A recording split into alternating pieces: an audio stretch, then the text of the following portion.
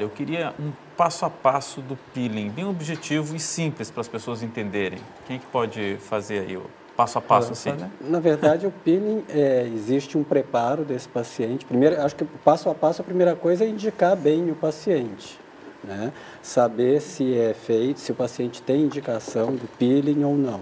A partir do momento que ele tem indicação, que o paciente não tem nenhuma comorbidade, nenhuma doença, aí se fazer o peeling, né?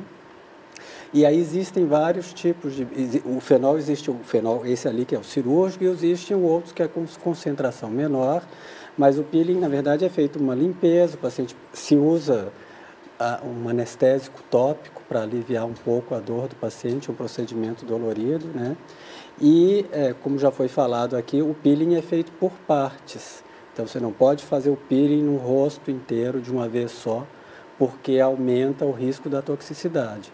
Então, você faz por regiões, tem que se esperar um tempo, em torno de 20 minutos, e aí vai fazendo, e é esse basicamente o procedimento. E o que, que é o vai fazendo assim? Vai Porque fazendo por fala... partes. Isso é, faz uma tem... parte. Mas é o que, que é, é, é, passando um como, como ele é. passa o produto, espera ele agir, aí vem para outra região do corpo, do rosto, uhum. né? Passa, não dá para fazer o peeling inteiro, porque tem Mas... peelings mais superficiais que a gente vem e aplica em todo inteiro. o rosto. Mas, isso, mas esfrega, usa força, não? É, esse peeling, que é o peeling de fenol, ele é esfregaço dependente. É. O que, que isso significa? Esfregaço dependente, hidrossolúvel e pH.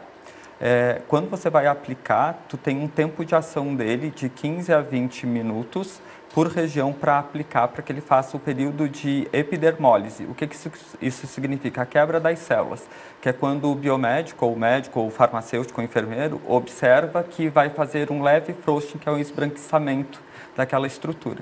Então, tu vê que o paciente está bem. Se o paciente estiver com a, a hidratação perfeita, não está com taquicardia, está tudo bem, tu passa para outra área. E tu vai fazendo por áreas.